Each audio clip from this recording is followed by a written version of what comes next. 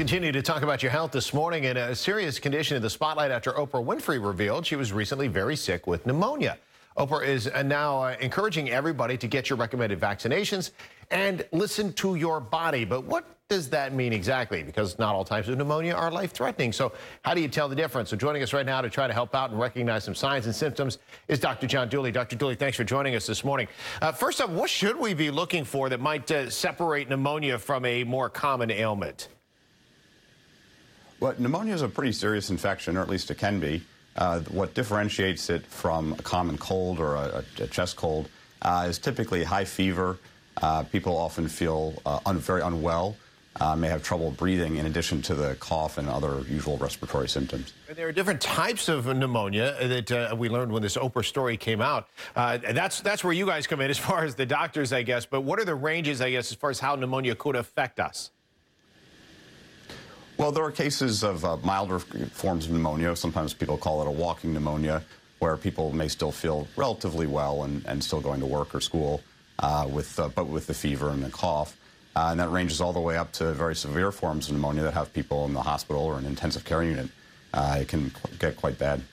As far as any preventative measures that we can take, I, I mean, are there uh, vaccines that we should take that could help with pneumonia? Is there anything else that we can do in a preventative manner?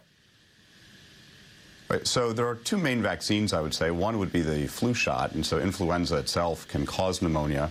Uh, well, the virus itself can cause a viral pneumonia, and uh, there are cases where people develop a bacterial pneumonia in the aftermath of influenza. So preventing the flu to begin with is, is very important.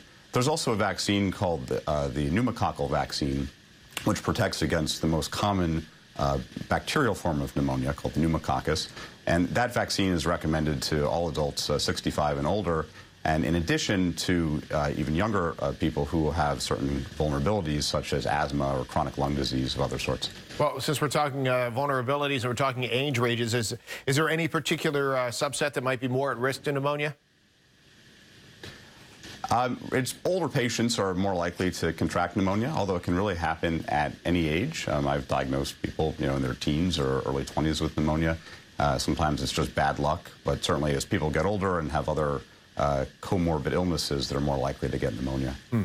And as far as just overall advice you could give people, is, is there anything to differentiate what we can do to protect ourselves as opposed to just what we would do to protect ourselves from the common cold or flu?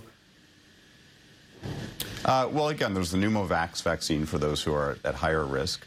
Um, and but uh, you know, pneumonia, like a lot of infectious diseases, is something that we're just somewhat uh, uh, subject to as we carry on our daily life. Uh, you know, it's a contagious thing, and so if uh, we're in close proximity to people who are sick, uh, it's helpful if they cover their uh, mouths and noses when they cough and sneeze, and it's good to wash our hands a lot and try to keep the germs off.